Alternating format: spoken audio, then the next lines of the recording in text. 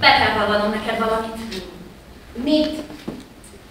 Én nem tudok nekik ellenállni. Engem csak a férjem érdekel. Neki sem tudok ellenállni. Olyan erősek, olyan határozottak, olyan függetlenek. Én egyáltalán nem vagyok az.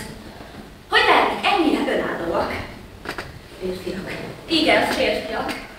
Én minden áldott reggel még a tükör előtt megígérem magamnak, hogy kemény leszek és kíméletlen. Nem engedek a bókoknak, a csokroknak, a csókoknak.